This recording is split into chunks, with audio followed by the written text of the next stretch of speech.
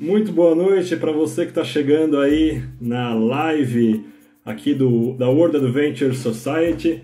Para quem não me conhece, o meu nome é Israel Koifman, é, eu sou jornalista, eu no momento estou apresentando um programa de entrevistas de aventura no canal da Spot Brasil no YouTube. E se a gente vai falar de aventura de bicicleta aqui no Brasil, não tem como evitar os nomes do Antônio Olinto e da Rafaela Asprino, que na minha opinião são aí a autoridade aí no assunto. Rafa e Olinto, vocês estão por aqui já? Cadê vocês? Cara, acabou a luz na cidade inteira. Tá tudo escuro aqui, é por isso que não tá funcionando. Eu vou tentar de novo, não tá nem atualizando o WhatsApp, o Instagram, vou tentar de novo. Opa, eles entraram aqui, mas vocês ouviram aí, né, pessoal? Acabou a luz na cidade. É, faz uns 10 minutos sumiu a internet. Só que como a gente tá no motorhome, a gente não percebeu que acabou a luz porque a gente tem luz.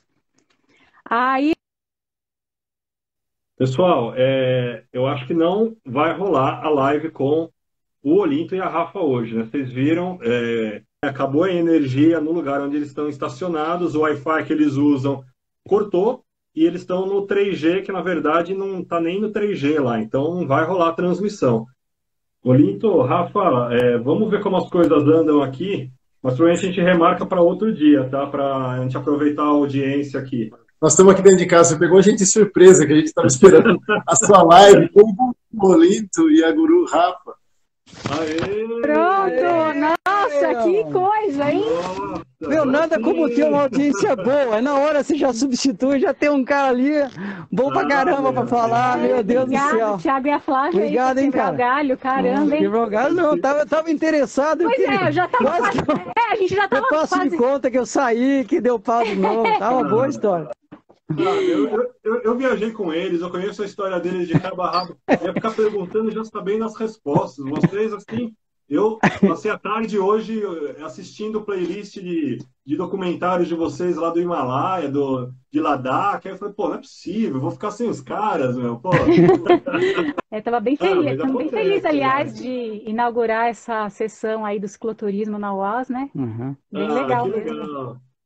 Bom, pessoal, a gente vai falar hoje sobre uma região que é super especial para mim.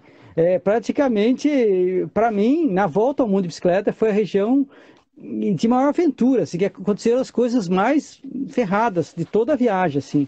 E eu gosto de montanha, que nem o tio Fortrif estava falando, né? É, na minha viagem eu buscava lugares sagrados e parques nacionais. Eu ia um parque nacional para o outro, assim. E eu sempre gostei muito de montanha. Pronto, é... quando eu cheguei na Índia, eu fui lá para a região de Ladakh, que me disseram que lá que era a estrada mais alta do mundo. E era naquela época, tá? É, Hoje em dia as montanhas andaram crescendo, do lado aquela um pouco menor. Mas naquela época era, tava nos guias e tudo, aquele Lonely Planet, tudo tava isso aí. E aí, é, meu, da volta ao mundo, um dos lugares que eu quis voltar foi lá. Na verdade, foi o. Mas peraí, Olinto, deixa eu te interromper, cara. Assim, Ah, eu queria que você me falasse uma coisa, porque hoje, hoje em dia tá na moda, volta ao mundo, né? Período sabático. Cara, hoje, hoje as coisas são mais acessíveis, na verdade, né? A globalização trouxe muito acesso, a internet também, né? A- acesso à informação também. Hoje, Isso. Hoje não é um grande drama você pegar um voo e daqui dois, daqui, daqui 24 horas você está do outro lado do mundo, né? Mas É verdade, nos anos- Mas nos anos 90, quem que dava a volta ao mundo, Olinto? Então, cara, isso é muito interessante, porque, é, por exemplo, eu saí do Brasil para ficar um ano viajando pela Europa. Só que quando eu cheguei lá, eu já mudei todo o circuito meu, porque eu vi que aquele troço era interessante. Na verdade, foi a primeira viagem que eu fiz de bicicleta. Antes de- da volta ao mundo, eu fiz duas viagens de final de semana. E quando na França eu encontrei um cara que fez a volta ao mundo de bicicleta realmente, aí ele falou para mim: olha, meu, a passagem de avião é, é, da Tailândia para os Estados Unidos é muito barata. Pois eu tinha pago mil dólares uma passagem de um ano daqui é, do Brasil para a Europa. Aí lá ele falou: meu, custa uns 300 dólares. Essa informação eu nunca pude chegar na minha vida. Você não tinha como chegar nessa informação. Entendeu? Hoje você coloca em qualquer programinha, ele te dá quanto custa essa passagem. Foi quando eu falei com ele que eu falei, meu, o dinheiro que eu tenho, eu acho que eu consigo chegar até lá, eu acho que eu consigo continuar. Era muito louco. Quando eu cheguei na Índia, eu tinha um mapa da Índia inteira. Eu queria ver o Taj Mahal, mas não sabia onde que ficava o Taj Mahal. Quando eu cheguei na Índia. Quando eu cheguei na Índia, eu descobri que tinha uma, uma peste pneumônica na Índia, que é igual a peste bubônica, só que ela transmite pela tosse. É, dá uma pneumonia no cara. E transmite pelo rato, e o rato é sagrado na Índia. Meu, era uma loucura a coisa arada, tudo lá. E eu fui o tempo todo indo atrás de um sonho que eu não sabia onde é que era essa estrada, é no Himalaia, mas como chega lá? Ah, você tem que ir para Jammu Kashmir. E como que chega? Não, mas lá não vai, cara, que lá é duro, lá é pesado, lá tá em guerra. Meu, eu fui o tempo todo, todos, todas as pessoas que eu encontrei falavam para eu não ir para lá. E assim, é, o equipamento que eu usava não era apropriado, não tinha nada apropriado. Eu estava fora da época do ano. Quando entrei em Jammu, que está muito longe da Caxemira ainda, está muito longe de Ladakh, é, é, eu tive que assinar que eu entrava por conta e risco, que o Estado indiano não era responsável por mim. Depois que eu atravessei a Caxemira, eu fui entrar em Ladakh, pronto, essa região já estava fechada. Porque lá é o seguinte, é, é, é, tudo muito alto, é como se fosse o Tibete, é o mesmo planalto uhum. do Tibete. E aí você tem dois pontos de chegada, um, uma, ou saída, né? Um é, é, é, é por Caxemira e outro é, é, por, por, como é que chama? Manali. Aí o que acontece? esses dois pontos, chega o inverno, eles fecham por neve porque é ali que segura toda a neve. Lá dentro tem neve também, só que é, a estrada fecha. Só, só, o exército que abre. Só abre numa situação muito especial, principalmente naquela época. Então, quer dizer, tava para nevar. E aí você tinha que assinar outra documentação de novo, falando, olha, tá fechada a estrada, conta e risco, a mesma coisa. E eu fui entrando, fui entrando. Mas não tinha ideia nenhuma de que cidade que tinha. Imagina você ter um mapa de toda a Índia. A Índia é chamada de subcontinente, tão grande que ela é, sete, acho que é o sétimo maior país maior país do mundo.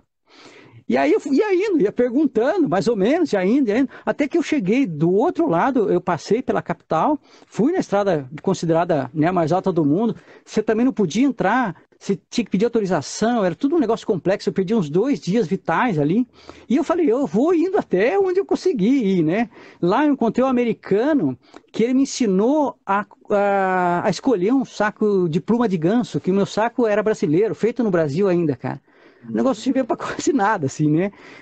Foi lá que eu, que eu encontrei um brasileiro, aliás, nesse caminho eu encontrei um brasileiro, ele me deu uma nota de 100 dólares de presente. Ah, são nossos amigos, é, são até, nossos hoje. até hoje. Ah, até hoje, Esse dinheiro que eu comprei o saco de dormir, contrabandeado do exército. Porque na Índia também você não compra essas coisas, não comprava naquela época. Era como o Brasil, quando eu saí do Brasil você não importava nada, não podia importar as coisas. Coisas tinham que ser feitas aqui no Brasil, lá também. Estava no começo da abertura lá. Então esse, esse saco de dormir era do exército indiano, contrabandeado. Tinha um, um furinho assim de minha marca de cigarro, né? E aí eu comprei, aí que eu consegui passar um pouco melhor. E eu falei, eu vou continuar para dar a volta até Manali. Só que totalmente alucinado, né? Não tinha é, você pegar a internet e ver como é que é a previsão do tempo, como é que está a situação. Não, é, Era tudo eu, de conversa. Eu, você falando agora, eu me sinto assim, né? Pô, a minha, a minha viagem que durou quase três anos, cara, eu pegava o celular assim, pô, daqui 20 quilômetros tem um lago ali, cara. Pô, e tem uma é. dica é. de um cicloviajante falando de que outro que viaja. Então, cara, isso aí é é dar na Cara, boca, né? ajuda, viu, beijo? Ajuda. Porque era muito tenso e tudo isso, cara, sem ter contato com a minha família. Fazia meses que eu não falava com a minha família. A família não sabia onde é que eu estava. Falava só por carta, né? Quando falava. Não, não, eu falava só por carta, mas a última carta que eu tinha escrito foi lá no Egito. Foi muito tempo, fazia meses. E eles não tinham ideia onde eu estava. Não tinham a menor ideia onde eu estava. E nem se eu ia voltar, nem nada. Ninguém sabia onde é que eu estava, né? Simplesmente. E Mas, aí que ó, tá. Deixa eu, deixa eu, fazer um corte, porque, assim, pelo que eu entendi, essa região da, de Ladakh, no, no, norte da Índia, ali na Caxemira, te marcou de uma maneira que te fez voltar, né? Agora com a, com a Rafa. Mas naquela época você viajava sozinho, né? A, viajava. Rafa não, vocês não tinham se conhecido ainda? Olha, eu acho que vai não, não, ah, não, não, não, é outra coisa. Não, não, é... não tinha se conhecido ainda. Não Teve tinha. até uma pergunta aí é, da, de que época que foi essa viagem, o Olinto, que ano que você estava lá Eu estou falando isso aí, 93, 94, era perto do Natal de 94. Então, lá é hemisfério norte, ou seja, esse tudo que eu estou falando para você, na iminência de nevar. Na iminência de nevar. Todo dia eu acampava e eu ficava vendo as, a, a, os córregos de água congelando, congelando, congelando. E eu, eu caí. Aí foi, acho que a única vez que eu caí na bicicleta. Eu escorreguei no gelo. Tinha, um, tinha uma água escorrendo assim, foi logo de manhã. E eu achei que era água, mas era gelo. E tinha dois buracos assim. Eu fui desviar, caiu. Caiu, bati o ombro. Nossa! Aí eu falei, bom, vou na próxima cidade perguntar para o médico e tal. Foi lá que eu cheguei em Cargill, que hoje é uma baita de uma cidade, mas na, na época só tinha uma rua, que era a estrada. Aí eu vi o dentista lá, com uma lima, limando o dente do cara, assim, né, na boca dele. Eles vendiam dentadura usada, assim, sabe, na rua, assim. Nossa, uma... eu fiquei imaginando como é que era o médico dessa cidade. Eu decidi que era melhor se não ir, né? Deixar do jeito que estava. Então eu tinha que pôr todas as minhas roupas, todas as noites, porque era muito frio. E aí o que acontecia?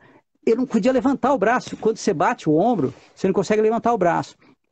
Aí todo dia eu tinha que fazer sacrifício, tudo gelado, né? Sempre gelado. Mas então, depois que eu fui lá para a estrada mais alta, eu voltei para ler e ia continuar indo para o sul, para Manali. Depois você tem que ver o mapa, isso aí é meio complexo, né? Mas tudo bem.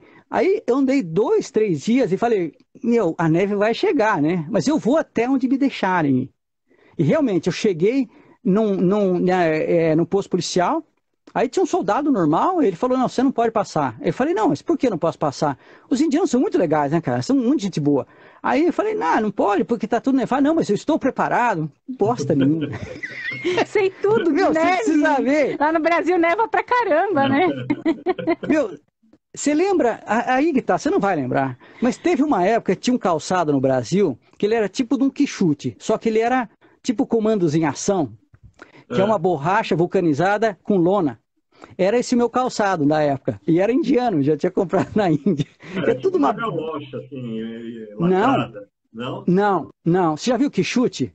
Já. Você é novo, né?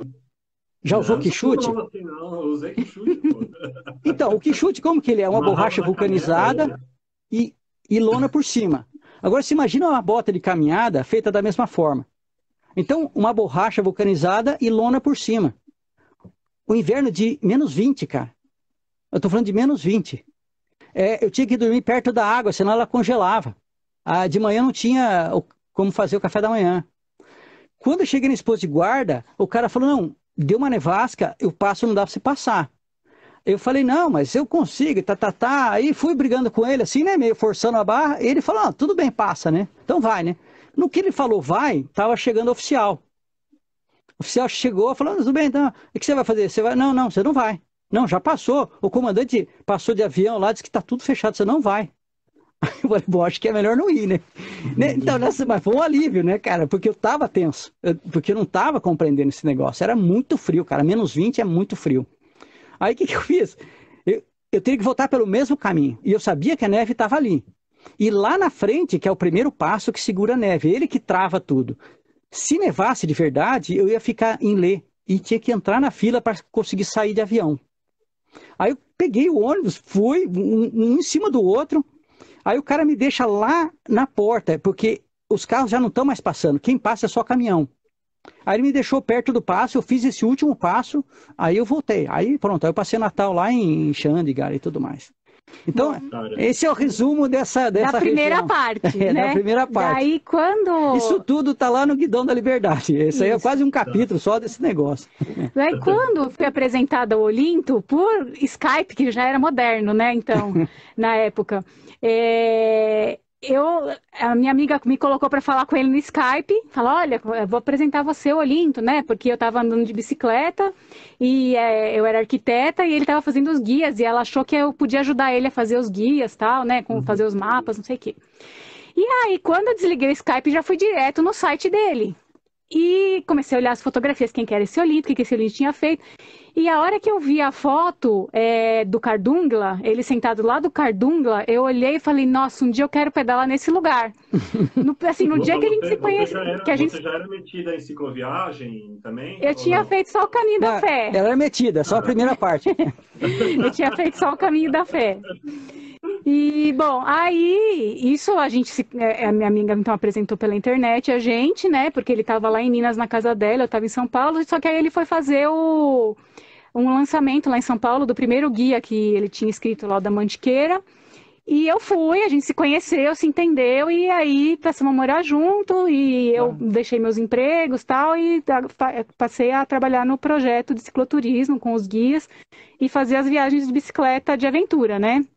Daí a gente primeiro foi para Europa, para Argentina, né? Foi não, é, primeiro fomos para primeiro para é, para Finlândia. É para Finlândia, é. depois é, fizemos na América do ah. Sul, depois é, Cabo Norte, aquele negócio todo. É, algumas viagens e aí chegou um momento falei, olha, então eu acho que a gente tem que ir para Ladakh. Eu quero ir para Ladakh de qualquer jeito, porque era um sonho que surgiu quando a gente se conheceu, né, praticamente. E aí, então, a gente passou a estudar esses caminhos que ele não tinha conseguido passar por causa da neve, a época melhor de ir, e outros caminhos que a gente pudesse fazer um loop maior na região, ficar mais tempo viajando.